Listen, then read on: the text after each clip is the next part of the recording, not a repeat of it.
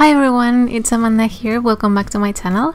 This week I'm a bit late with the video and I didn't have time to make an introduction. However, here I am with a new card that is a bit different from what I normally do, I think. I am experimenting a bit with colors and I'm using this stamp set by Simon Says Stamp, some inks. I'm, I will be coloring a little bit with Copic markers and yeah, basically I'm going to be stamping a lot and then coloring and that's going to be the card for today. It might not be everyone's cup of tea, the card that I'm making today, I believe. But as I said, I think it is okay to experiment sometimes and also get out of your comfort zone and see what happens. So anyway, I hope you enjoy the video.